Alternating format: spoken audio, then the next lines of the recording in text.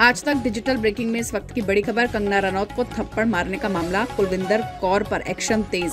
CISF constable के खिलाफ FIR दर्ज हो गई है। आईपीसी की धारा 323 और धारा 341 के तहत मुकदमा दर्ज हो गया है। अभी तक नहीं हुई है कोई गिरफ्तारी। सीआईएसएफ ने आरोपी के खिलाफ दिए थे जाँच के आदेश।